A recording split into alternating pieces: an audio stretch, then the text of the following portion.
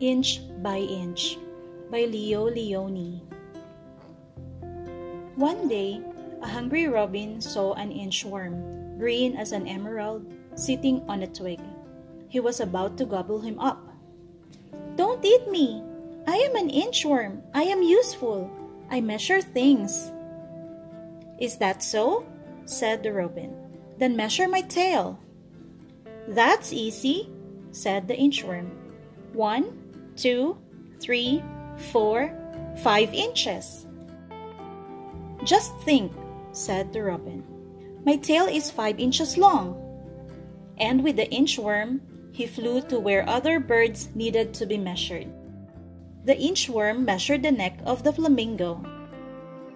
He measured the toucan's beak, the legs of the heron, the tail of the pheasant, and the whole hummingbird.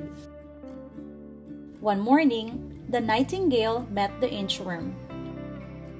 Measure my song, said the nightingale. But how can I do that?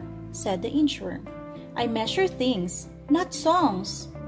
Measure my song, or I'll eat you for breakfast, said the nightingale.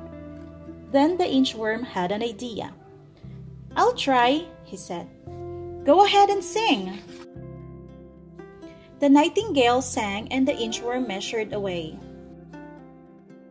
He measured and measured, inch by inch, until he inched out of sight.